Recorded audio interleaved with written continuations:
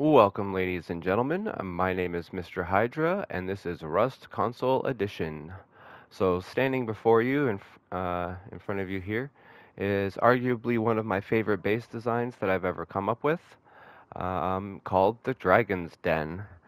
Um, it's got a whole bunch of features uh, of this base, uh, but its main selling points is that it takes an entire box of rockets to blow into it, um, and it only costs you uh, a box and a half of metal frags and a shitload of uh, gears in order to make this. Um, so it's super cheap, it's super simple. Uh, you can easily, if you just leave the base alone, just like this, um, it's 75 rockets no matter which way you raid into this thing.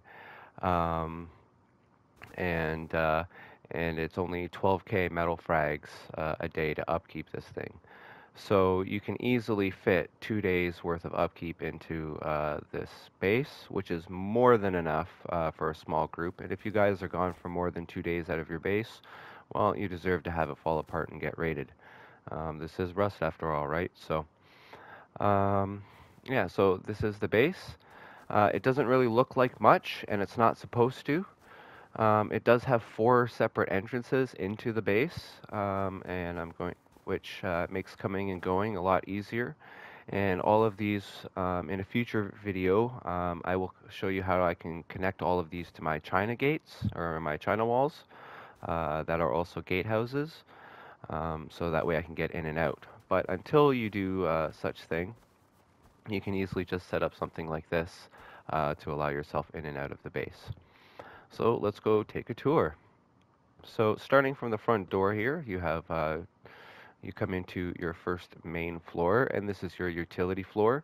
Uh, this is where you're going to put your workbenches on the on the two sides of this, your tier uh, one and your tier two. Uh, you can also have some of your other uh, benches set up, so you can have, um, for instance, on this wall, you can have your um, uh, repair bench, and then on this wall, you can have a uh, your research table, um, and then you know you don't have to have anything over here. You have plenty of space for bags um, in here. Um, you have two of these uh, shooting galleries or viewing galleries. Um, because I'm running a hotel, I don't want a bunch of people shooting in or out of my hotel. Uh, this is my hotel design, by the way, um, just so you guys know. Uh, that's why it's called the Dragon's Den, because it's kind of cozy. Um, but you can easily put uh, turn these into windows with glass uh, windows in it and turn this into a shooting floor.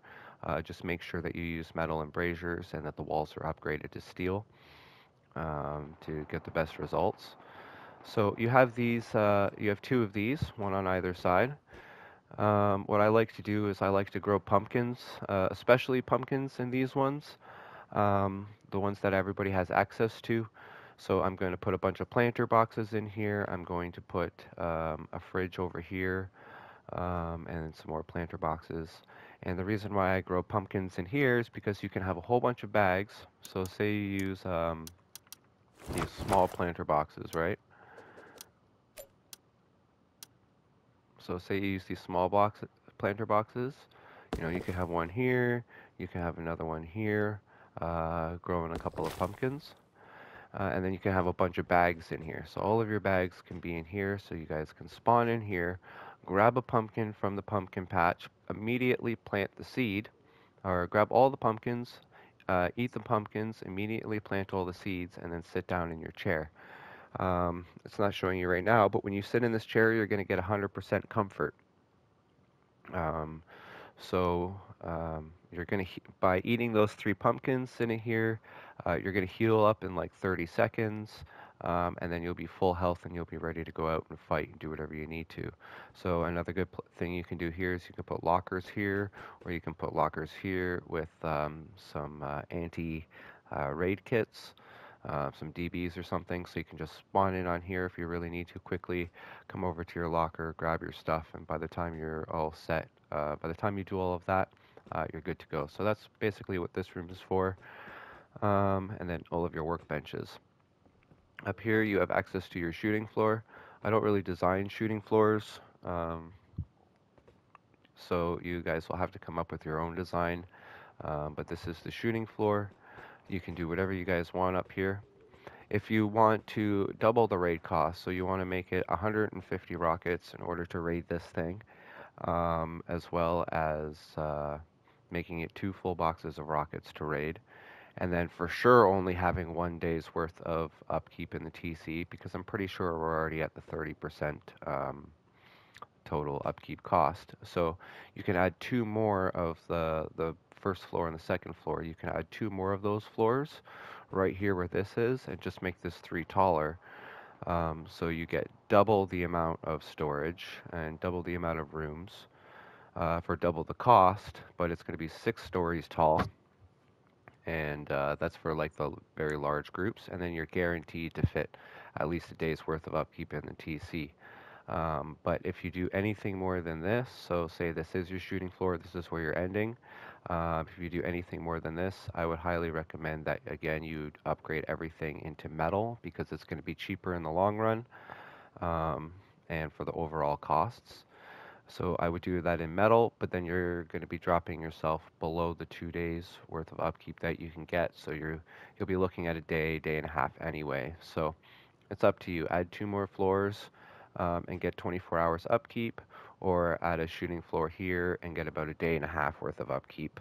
Um, it's uh, completely up to you, but that's your shooting floor. So again, this is your um, this is your utility floor. These stairs, um, they're not going to stay here very long. Eventually, you guys are going to find an elevator, put an elevator in here. Um, that's why these doors are on both sides.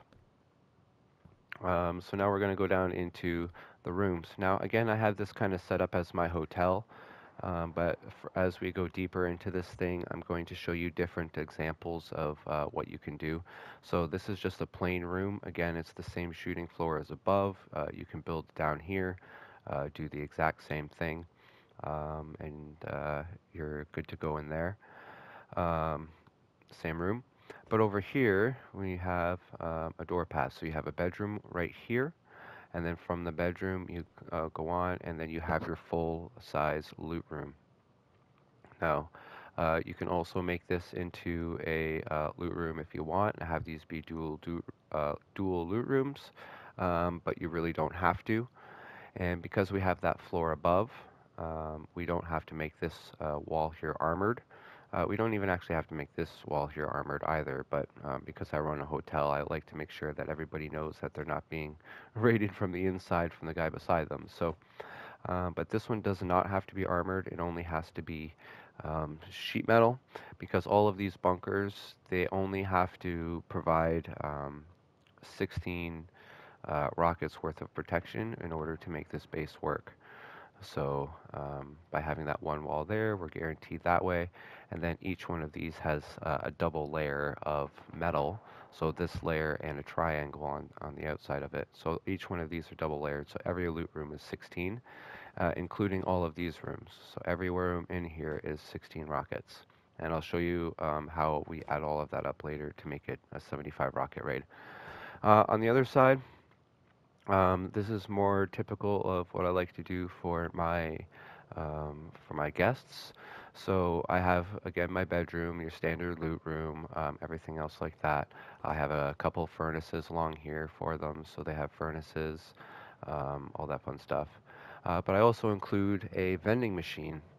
So um, because where it is on the on the path, um, it it actually adds strength to it and if they see this vending machine, if somebody's coming in here to, to raid through, um, they're going to more likely want to go through the back side in order to get reach the back than they are going to want to go through this wall.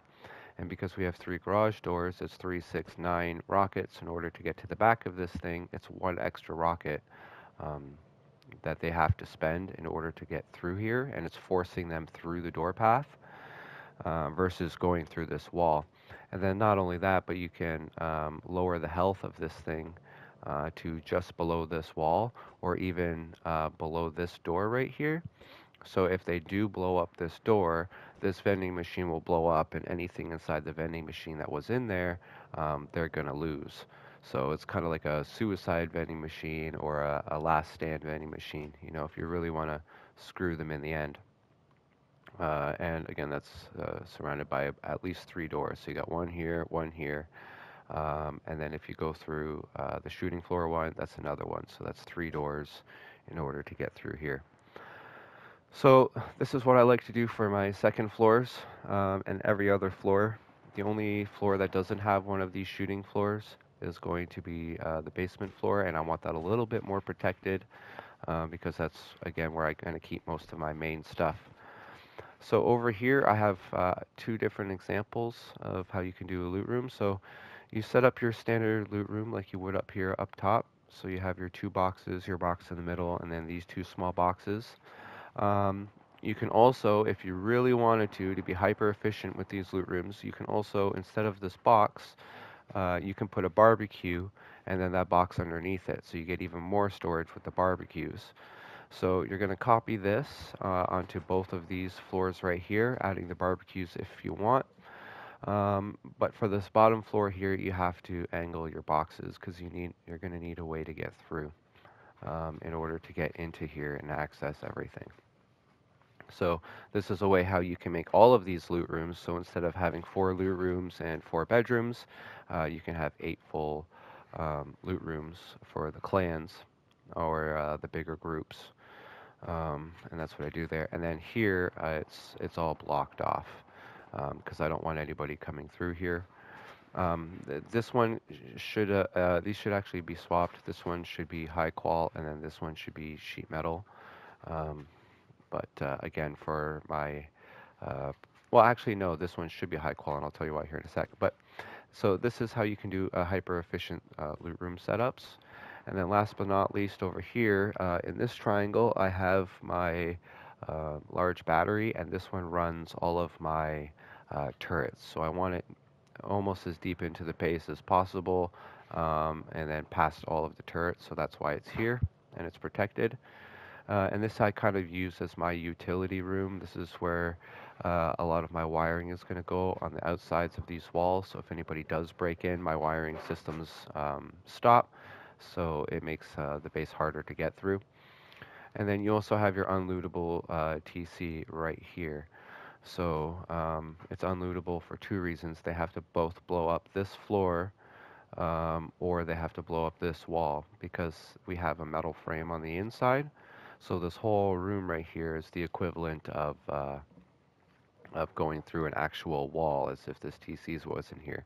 The only thing is, is they can blow up the TC, but because we have our perimeter TCs that are going to cover it, won't make much difference, and they won't be able to loot what's in there without rocketing in. So if you want to keep your uncooked sulfur in there, uh, you can, but I wouldn't recommend it because you just want your uh, upkeep in there, and that's it.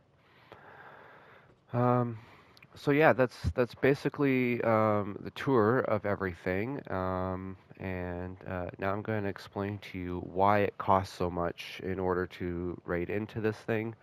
Um, and I'm also going to show you the easiest way to raid into this thing. Um, is also pretty much the exact same way as every as everything else.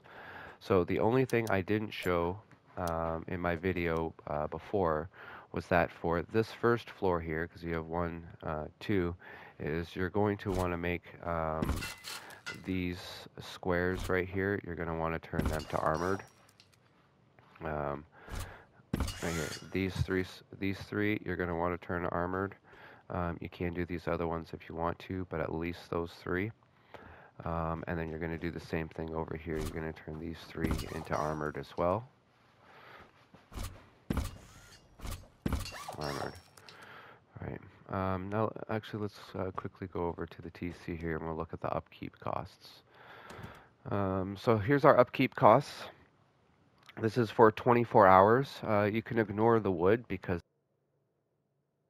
stuff, uh, and you can ignore that uh, stone because I forgot a piece of stone somewhere.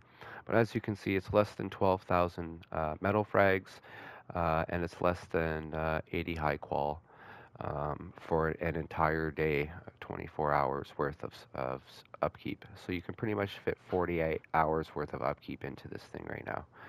Now, in order to figure out the build cost for this, because um, Rust Console Edition doesn't show you the build cost because we get unlimited free stuff, and again, it's not showing us here in the upkeep. So if you ever need to try and figure out how much something costs to build, um, and this is including all of the doors and everything else that I have on here, um, one thing you can do is uh, most of the time, most of the builds you're looking at are, are the large builds, and they're going to charge you 30% of what the total cost uh, to build. They're going to charge you 30% to uh, maintain it uh, per day. So in order to do the math on that and to figure that out, what we're going to do is we're going to do a little bit of math. Um, so let me pull up my calculator here. So we have uh, 12,000 uh, metal uh, a day that we need to um, to fill up our TC. So we're going to multiply that by 100 and then we're going to divide that by our 30%. Uh, and that equals 40,000 metal frags. Um, now we're going to divide that by a thousand because we can put them in stacks of a thousand. That equals 40 stacks, and we're going to divide that by 24 because that's how many um, stacks we can fit into uh, a large box um, and we equal to 1 and 1.6 um, 1.6 so just over a box and a half of metal uh, in order to build everything so that's pretty freaking good if you guys ask me for how much protection it is now let's figure out the raid costs so in order to go through any of these outer walls right here um, it's going to be 16 rockets and then in order to get through this garage door, it's going to be another 3. So we're at 19, and then another 3. Uh, we're at 21. Uh, and then if you have your uh, vending machine here, we have to go through another 3, uh, which is going to equal up to 24. So that's 24 rockets uh, if you want to do this entire thing. So if you're going to do the same thing on the other side, that's another 24 rockets. So that's what, uh, 48 rockets. And then we're going to do the same thing for the floor above, right, which is another 48 rockets. So now that you're at 100 rockets, um, or uh, no, you're at uh, what, 96 rockets? But then there's also going to be always one door that they're going to have to get through. Uh, so you're looking at 100 rockets if you want to go through any of the walls. Now, another thing that they can do is they can go into uh, through the floors, right? They can go through these floors. Um, but again, I've got you covered as long as you have your third floor utility room here. It's still 16 rockets to get into that one. And then it's another, so it's 16 rockets to get into that one. And then it's going to be uh, three rockets to get through here. So we're at 19 rockets. And then look at that, it's another 16 rockets. So now we're at 25 rockets. Um, and then we're going to need another three here. So now we're at 28 rockets. And then downstairs we're going to need another three. Uh, so we're at, uh, what is it? Uh, 23 rockets. Uh, so at 26 and then 29 to get to the vending machine, 31. Uh, so it's, uh, what, like 60, 60 or it's like 70, it's about 70 rockets um, if they go through the exact floors uh, the way that they're supposed to. Um, and then, but that also, in order to get to this tile, they have to go through here or here. Um, so that gives you your 75 rockets um, all the way through the top, no matter no matter which way they go. Um, so yeah, so there's your 75 rockets. Um, and again, every one of these things is uh, five. So we've got uh, 3, 6, 9, 12, 15. So this door path is 15 rockets, which is one less than our 16 out there. But if they're going through the door path, then they have to go through at least one more door up there uh, in order to do that, meaning our door path is actually two stronger than if they were to come through here. So it doesn't matter how they raid into this base uh, even if they came through here, right? Because um, I think these are like a thousand or something like that. So these are even more than, uh, so these are about the equivalent uh, to a, a wall here. So they can come through here, then this door, then this door. Um, that's actually more than if they were come through the door. So the doorway uh, system is um, the cheapest way to get through here, but it's also the exact same as if you were to go through the walls and then go through all of these doors uh, into here. And that's not including anything up in the, the utility room at all. So guaranteed 75 rockets. Doesn't matter how they how they look at it. Uh, two days can be put into this thing. Uh, you have a ton of space for bags. You have extra resources to help you when you're uh, spawning in to help you guys get back into the fight really quickly. You have lots of room for extra lockers, four entrances and exits, plus a roof entrance and exit, and uh, um, the ability to add china walls, all of that fun stuff. And if you really, really, really, really wanted to, um, because you don't want to build the china walls, you don't want to have to worry about uh, climbing, uh, you know, a set of stairs to get into the base and then down into your core every time. Uh, what you could do is you could take this third floor and make this third floor the first floor, and then move the first floor up to this floor.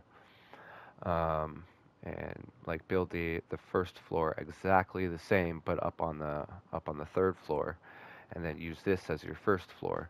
So these are all ground level. You come in here ground level, and then you have to go up in order to get at uh, to access the rest of the base.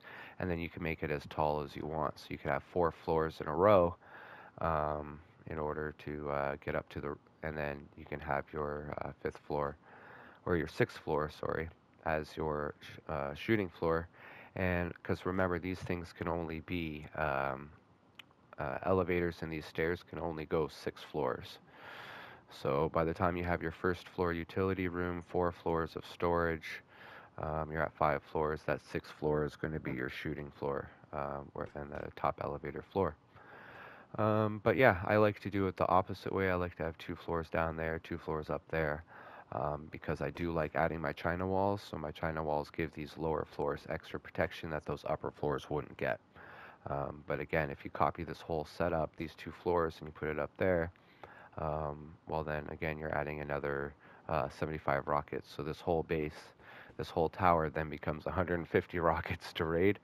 Um, and only the most extreme groups are going to be able to uh, to do that to you. So this is uh, the base tour. This is the Dragon's Den.